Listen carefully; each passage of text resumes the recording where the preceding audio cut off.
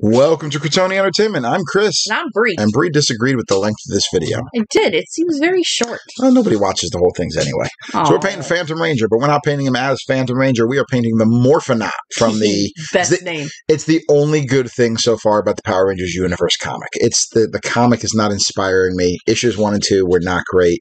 Uh, issue three is sitting in my pull at the comic book store, and I'm, I'm going to pick it up. But uh, hope I was hoping to pick it up alongside Power Rangers 16 because they forgot to put that in my pool and had to order a new one for me. So that's kind of a bummer. But we're doing the Morphinaut. So this is a white on white with gold trim Ranger. Uh, because you know what, the black on black silver trim wasn't inspiring me. I have too many models from other game systems that have that kind of look. Yeah. Um, and you know, I just I just didn't feel like doing it again. So I've been putting this miniature off. So we started by painting the entire thing with Citadel Contrast Apothecary White. That's going to add a fair level of gray to the miniature to be a base for our white. Uh, then we're using our Vallejo Dead White, um, as usual, primed in Krylon 2X, uh, perfect gray With the stuff in the spray thing. stuff. And then we're doing a moderately heavy dry brush of the uh, Vallejo Dead White. Um, any white will do. A little I'm- white will do you. I went with a dry brush for a very specific reason, and that'll hopefully become more obvious in a moment. No, no, not at all. Not at all. When you see the next step, you'll see why there's actually a specific reason I did the dry brush. Okay. Um, because for he's- it. because now we're doing brush layering. So he's got like the white suit, but he's got like these armor plates on him. So the dry brushing white is going to give a texture and a whiteness to the suit underneath. And we're doing layered on white to the armored plates. So even though he's white on white, Bree's going to cough while we're doing this. I, it's a seven minute long video, and I'm like, eh, I'm gonna die. Even though it's white on white, we're going to have two different whites going on.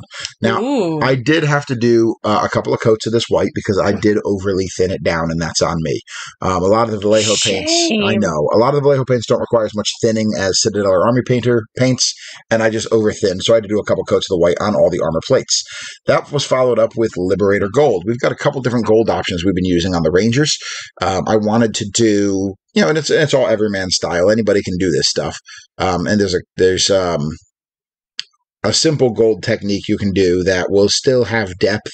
It won't be as neat looking as like what we did on like the Omega Rangers with like the light reflecting gold type stuff. right. But you can use a lighter tone of gold, like this Liberator Gold. I'm a huge fan of Liberator Gold. It's actually funny. A lot of people who use the Games Workshop stuff, at least that I see on on the Twitterverse and whatnot, uh, really live by the Retributor Gold because it's this deep, strong gold. It I is. prefer the Liberator. Because it's, well, I like the Liberator myself because it looks more like a weathered gold, like a gold that's seen some stuff. I don't know if I call it weathered. Um, It's not as strong. it's not as gold. strong. But anyway, we're painting all the trim and his pistol with this gold.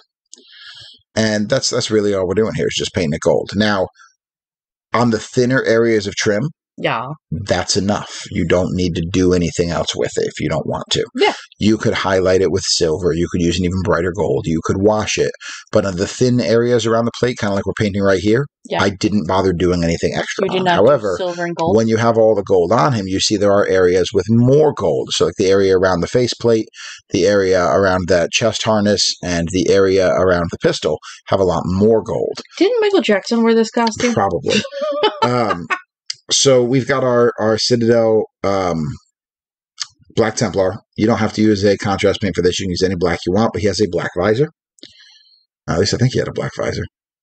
Oh no! It doesn't matter at this point. We want the black visor. We'll pretend if, if it wasn't a black visor, we'll pretend this is me being unique. Now, if you wanted to, you could do like a light streak on the visor, Oh yeah, kind of make like light reflecting off it. Um, we do some stuff similar to that, like on the the car video for Marvel Crisis Protocol. Yeah. How we kind of have like the the tint of the windshield, and then there's the white line. Like you could do that on this helmet. We're not doing it here because I'm lazy. Uh, that's where the lazy kicks back in. So we're, the lace. so we're using the Vallejo black here today because again I'm lazy and it was the closest black to me. This is I, I regret this. oh, you you got regrets? Uh, for all of March's models, and I have completed all of March's Power Ranger minis already. I did the Vallejo black on the base, and it didn't cover as well as I wanted it to. Probably because again I I overthinned the paints for this video, and I I think I overthinned the black on all of them, and I actually had to go back and do a second coat of black on all of them before I put my sealer on them, uh, which was a little obnoxious. So This is one of the few times I would say stick with the Citadel Abaddon Black because I've never had any issues over watering that and getting coverage. Uh, this is a fine example of you don't have to stick to one company if you don't want to.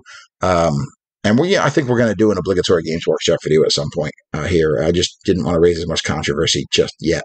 But anyway, we've got our Agrax Earthshade. This is the color I've decided to wash the bigger gold areas with. So he's got this chest harness, the area on the helmet. We're using the Agrax Earthshade because uh, gold takes well to brown washes.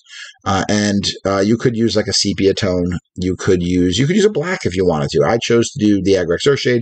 It's a little warmer. It's not quite the sepia, which I think is probably the more Yeah. common wash people use. And I always like to do something just a little bit, a little bit weird. A little, little bit different. And I will say, if you're gonna do a gold and then uh, maybe avoid doing a Nuln Oil wash, it gives it a different. It makes it muddier. Yeah, And it, it does it does make it look warm. Yeah, it, it Um, does give that worn shot. And if you're doing somebody like one of the Rangers or something like that, and you don't want them to look like they they've seen some stuff, avoid the Nuln Oil. See, I don't do a lot of weathered miniatures. I think I'm going to do some weathering on Wizard of Deception because there's not much detail on him uh, outside of black on black. Yep. So I'll probably do some weathering on him to give some depth of color. But generally speaking, I don't like to do weathered miniatures. I like to do miniatures as if they just showed up. And that's just what I like to do. Uh, you got their shiny new things from Zordon. Uh, well, not even necessarily that, but you know, I, I like the uh, one of one of the fun one of the fun things. Let's be honest, one of the fun things about Power Rangers is when they do ridiculous kick flips into the fight for no reason and just start screaming. Yeah. Um, so, Yeah. so anyway, we're painting the rim of this one white because we are considering, and then we're doing a ring of black that doesn't cover all of it. Um, this was a little messy on the camera here. I'm, I'm going to touch it up off camera later. It doesn't have to be perfect. The reason I'm doing a ring of black and a ring of white, if you watched our Age of the Grid video we put out recently the Ranger review, we're considering Phantom Ranger because he was also the Morphinaut to be a White Ranger and a Black Ranger for purposes of like Forever Ranger squads. So where I've been putting the Ranger color on the ring of every base, I'm doing kind of a half and half here. Yes. Um, I didn't do a true half with the black here because the top of the base is already black, and I thought a true going halfway up would really just kind of neutralize the white. Yeah. So I just kind of kept it on like the lower fourth of the now he looks like an Oreo okay. thin. Uh, he kind of does. He's the Oreo Ranger. Anyway, the Morphinaut's all complete. It's a very simple miniature to do when you use a couple cheaty techniques like drivers. And you see here, see that cloth and plate difference? This is where you really see it. Yeah, It adds looks depth good. to white on white. Uh, but anyway, like and subscribe for more content. Hit the bell button for notifications. Check out Hi Voltage Ware on Etsy. Uh, link in the description below. We'll see you next time.